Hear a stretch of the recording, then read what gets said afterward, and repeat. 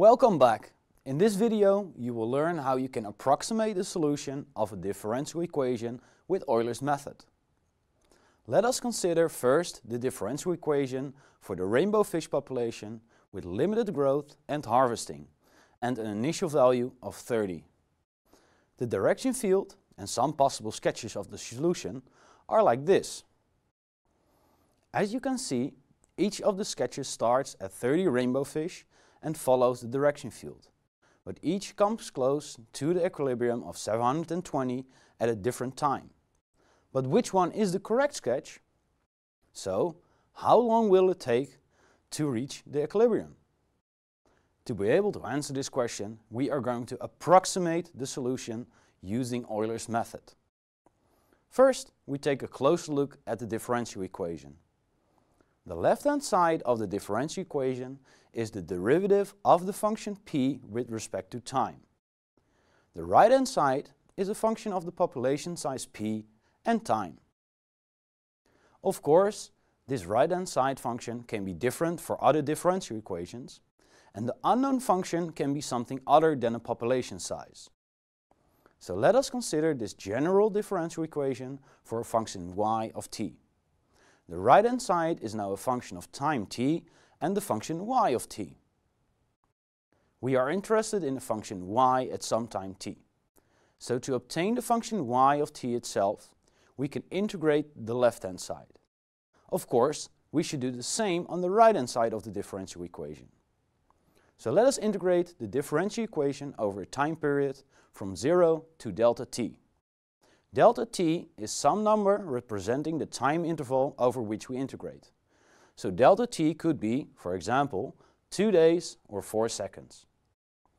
Using the fundamental theorem of calculus, the left-hand side simplifies to y at time delta t minus y at time 0. We know the value of y at 0 because this is the initial value. The left-hand side has become quite easy, but the right-hand side still contains an integral. What should we do? If you want to integrate the right-hand side function over time t, you must know the function y of t. But this is exactly the thing you do not know yet. So you must do something else. First, focus only on the right-hand side function. If you would know y of t, we could make a graph of the right-hand side as a function of time which could look something like this, or like this, or like this. The integral from 0 to delta t over time t would then be this area under the curve. The, this area we do not know, so maybe we can approximate this area in some way using information we do know. At time 0 you do know something, the initial value, y at time 0 equals y0. For this initial value you can calculate the value of the right-hand side function. Because you only know this value of the function f, you can approximate the value of the integral by delta t times f at 0 and y0, as also shown in the graph. So what do we have now?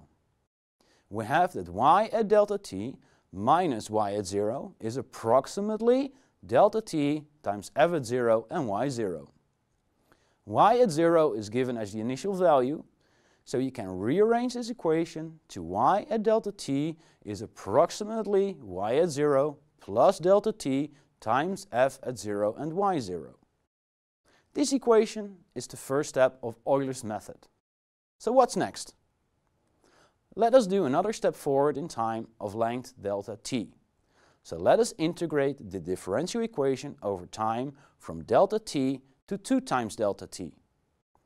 The left-hand side is easily calculated to be y at 2 times delta t minus y at delta t.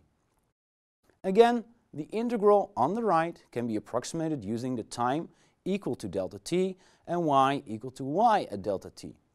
This is no problem because you know an approximation of this value from the first step of Euler's method.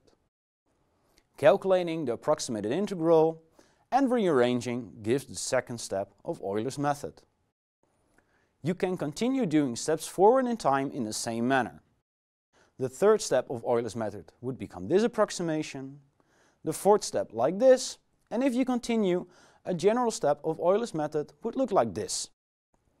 the value of y after n plus 1 time steps of size delta t is approximately equal to y after n steps of delta t plus delta t times the value of the right-hand side function after n steps of delta t. If you perform a few steps yourself, you obtain a list of approximations of the function y at several consecutive times, all delta t apart.